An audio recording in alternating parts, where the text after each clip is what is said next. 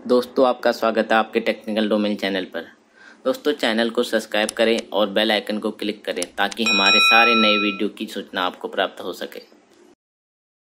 दोस्तों लॉकडाउन के दौरान सबसे ज़्यादा वीडियो कॉन्फ्रेंसिंग ऐप की मांग की गई है। दुनिया भर के तमाम स्कूल और कोचिंग सेंटर की क्लासेज ऑनलाइन वीडियो कॉन्फ्रेंसिंग के ज़रिए चल रही है। लॉकडाउन में जूम वीडियो कॉलिंग ऐप सबसे ज़्यादा इस्तेमाल करने वाली वीडियो कॉलिंग ऐप बन गई है।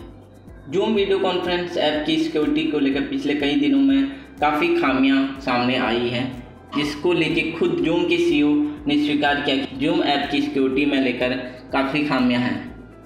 भारत की कंप्यूटर इमरजेंसी रिस्पांस टीम और राष्ट्रीय साइबर सुरक्षा एजेंसी के कुछ दिन पहले जूम की सिक्योरिटी को लेकर लोगों को आगाह किया था और कहा था कि जूम ऐप साइबर हमलों का ज़रिया बन सकता है। इसी बात का फ़ायदा उठाने के लिए रिलायंस जियो एक अपने वीडियो कॉन्फ्रेंस ऐप को लॉन्च करने की तैयारी कर रही है। ये ऐप जल्द ही लॉन्च किया जाएगा। बता दें कि इस ऐप का नाम जियो मीट है। जियो मीट एक ऐसा प्लेटफॉर्म है जो अलग है और सभी डिवाइस तथा ऑपरेटिंग सिस्टम पर काम करेगा। जियो मीट यूज़र इस ऐप के ज़रिए अपनी सुविधा के अनुसार अपनी मीटिंग शेड्यूल कर पाएँगे। रिलायंस जियो, अपने इस वीडियो कॉन्फ्रेंसिंग प्लेटफॉर्म को जल्द ही भारत में लॉन्च करने की तैयारी में है। बता दें कि पिछले काफ़ी समय से इसकी टेस्टिंग चल रही है। कोरोना संकट में लोग जूम और गूगल मीट ऐप जैसे वीडियो कॉलिंग ऐप को काफ़ी इस्तेमाल कर रहे हैं। जियो मीट क्यों खास है? इस जानिए इसके फीचर्स जियो मीट एक ऐसा प्लेटफॉर्म है जो अलग है और सभी डिवाइस और सभी ऑपरेटिंग सिस्टम पर काम करता है। जियो मीट यूज़र्स इस ऐप के ज़रिए अपनी सुरक्षा के अनुसार मीटिंग शेड्यूल कर सकते हैं। इसका इंटरफेस यूज़र फ्रेंडली है। जियो मीट एंड्रॉयड ऐप के गूगल प्ले स्टोर और एप्पल के आईओएस तथा माइक्रोसॉफ्ट के विंडोज़ प्ले स्टोर पर उपलब्ध है। फ़िलहाल यह एक बीटा यूज़र्स के लिए उपलब्ध है। इसके साथ ही दूसरे प्लेटफॉर्म पर भी यह सर्विस यूज़ की जा सकेगी। जियो जल्दी अपने वीडियो कॉन्फ्रेंसिंग सर्विस को कमर्शियली लॉन्च करेगा।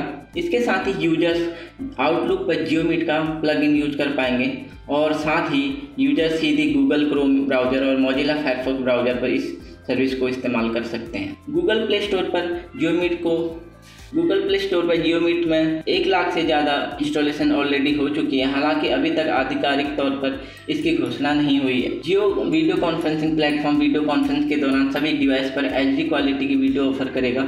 जियो मीट की टक्कर चाइनीज़ सर्विस प्रोवाइडर जूम से है।